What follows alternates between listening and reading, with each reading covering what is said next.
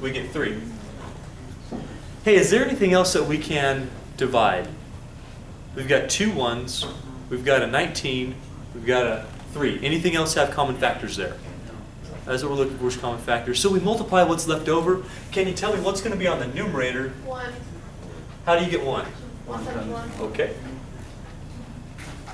And on the denominator, we'll multiply 19 times 3. That is how much?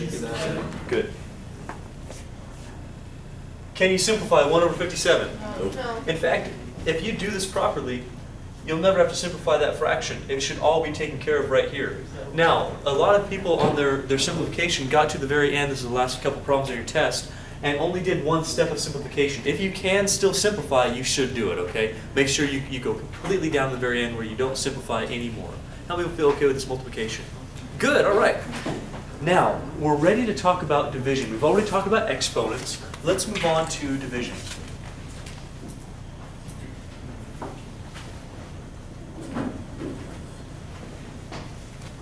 Before we talk about division, I've got to give you a new word.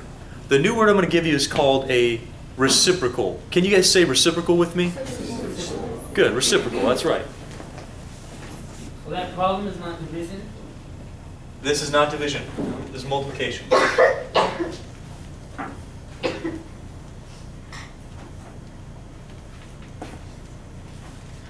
Reciprocal. Okay, what in the world is a reciprocal? Here's what a, a reciprocal is. A reciprocal in, in terms of math, in terms of math, deals with these fractions. We're dealing with fractions, okay. A reciprocal takes a fraction and it simply, if you've ever heard of a reciprocal, you know what this means, takes a fraction and it flips it upside down. That's called reciprocating or finding the reciprocal of a fraction. So if I asked you to find the reciprocal or to reciprocate a fraction, what you'd do is you would take your fraction and write it upside down. Does that make sense to you? So instead of 1 over 57, we would have 57 over 1. That's all the reciprocal is. That's this new word for us. So a reciprocal, to find the reciprocal of a fraction,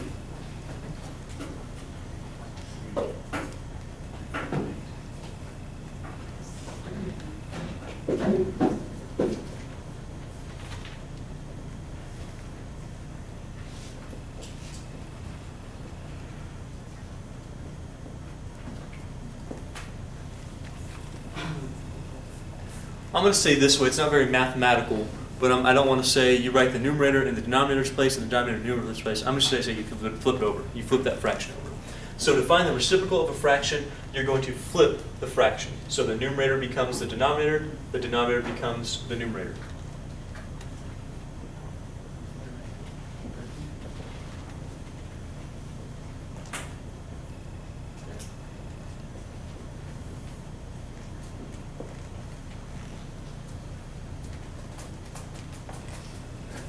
Okay, let's try several examples here. First off, uh, let's do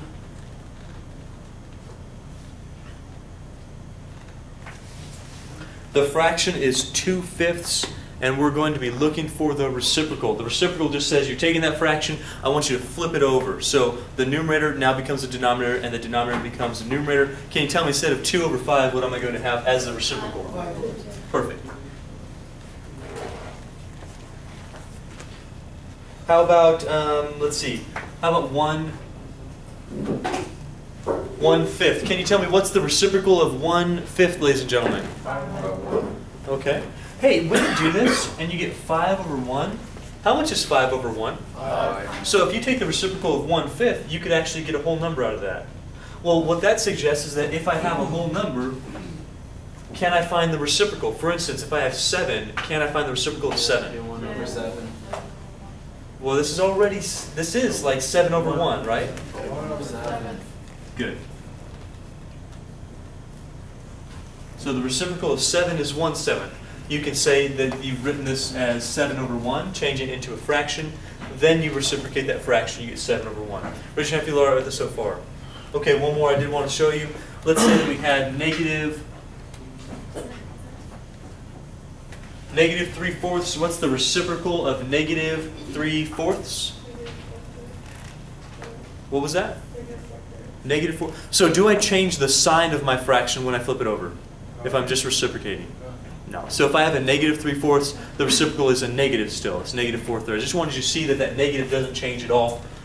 We're simply flipping that fraction over. Now, why in the world are we doing all this stuff? Why are we dealing with this reciprocal uh, idea? Well, here, here's the deal. I'm going to lead you to what division of fractions really is. I want you to consider these two problems.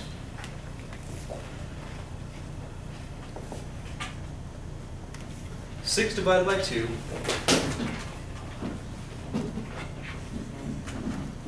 And six times one half. I want you to look at those two problems. They're they're very basic problems. We can do these things in our head probably.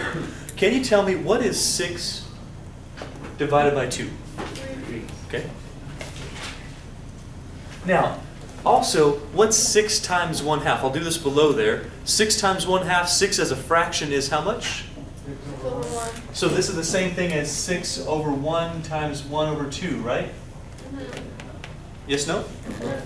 And to multiply fractions, I know I would write that as one fraction first, put my dot dot, and then I would simplify. What goes into those numbers? Two goes, okay. This would be one, this would be three. What's my answer going to be? Three. Okay, three, yeah, I, I would say definitely get three over one, or in other words, just three. Okay, now that we're stop here. Do you guys agree that six divided by two is three, and also six times one half is also three? Raise your hand if you feel all right with this so far. Here's the whole. What we know is that if we have six, the same number here, and we do an operation here, and an operation here, and it gives us the same exact number, what this says to us in math is that this operation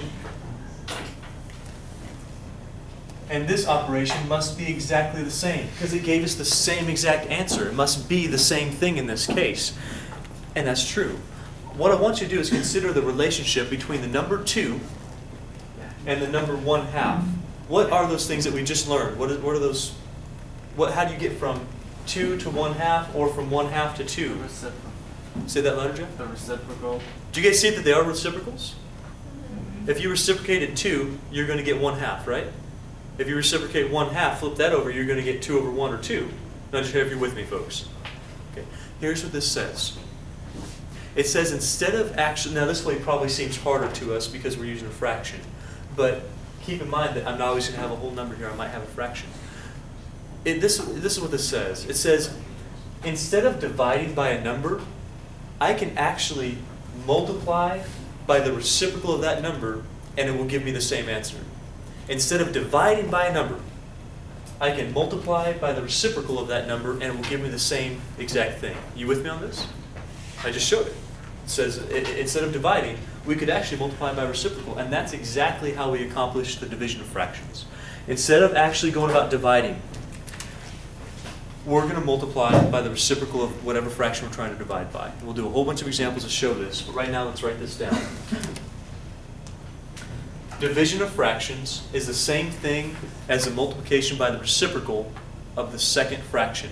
One more thing I need to notice from this example. Did I do anything to the 6? Did the 6 change at all? No, 6 didn't change. It's just the second number that I'm reciprocating. So division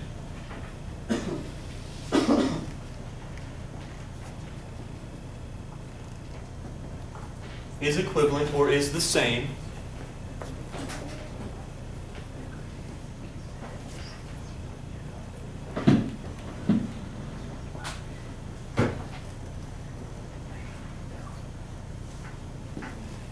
is the same as multiplication by the reciprocal of the second fraction.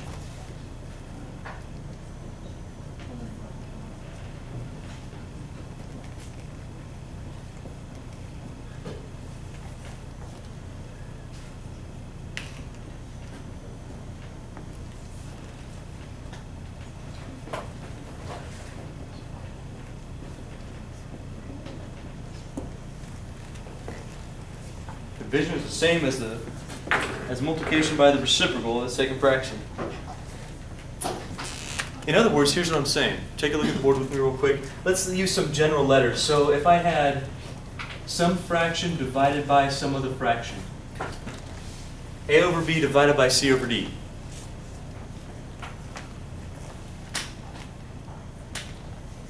Listen, we, we really don't have a way to go about and divide fractions easily without, without this. We, we don't have a way. What we're understanding is that division and multiplication by a reciprocal are the same thing, and that's what we use for division. We can't just look at two fractions and go, oh, what's this one divided by this one? It doesn't really work, uh, at least not, not easily. We want something that, that works all the time that's not too complicated, right? Right? Yeah, of course. So what the, what we do is instead of going straight for the division, we kind of kind of flank the problem. We go, okay, we're going to go around the division. We're going to take the division out of my expression. And by how we do that is we say, I know for a fact that division is the same thing as multiplication by the reciprocal of the second fraction. So fir- first question, am I going to be flipping over my AB? No. Did I flip over the 6? No, I'm going to leave that one alone. Am I still going to have division? Am I still going to have division here? No. No, what am I going to have instead? Yeah, which is nice because we just learned multiplication, right? That's great. Now, the second fraction, that's the one we need to reciprocate. So instead of C over D, what am I going to write over here? D over Yeah. Ladies and gentlemen, these are equivalent statements. In fact, we just did this up here. Division by a number, the same thing as multiplication by the reciprocal of that number.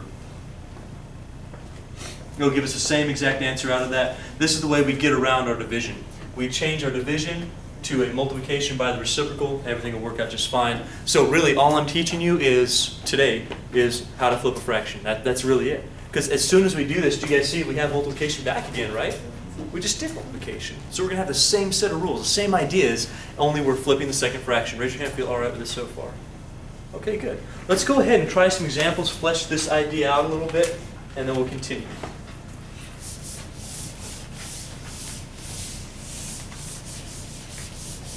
Would it still be, it would be solved if it was in division or no? I don't know. Say what now? Like, I know it's easier to flip flip that way, but can you still do it in division? Or I didn't hear if you said anything about that. No, I, I, geez, I don't know a good way. No. Okay, that's all. I was just wondering if it's still possible to do it that way. Probably by manipulating the fractions a little bit more, yeah. Uh, but it's not going to be easy, no. Yeah, that's what I was.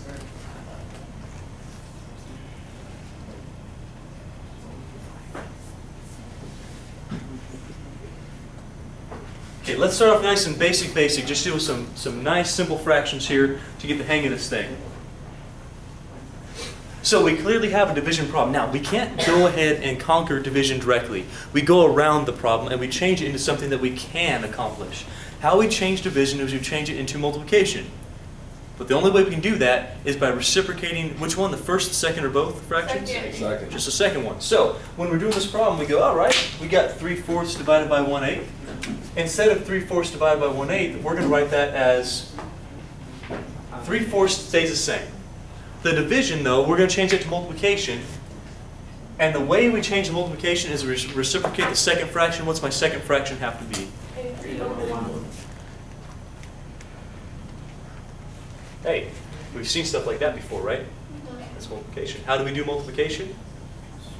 Um, Straight lines, uh, straight across, draw the line, put the dot dot, or re- rewrite this as one fraction, which is what I'll do.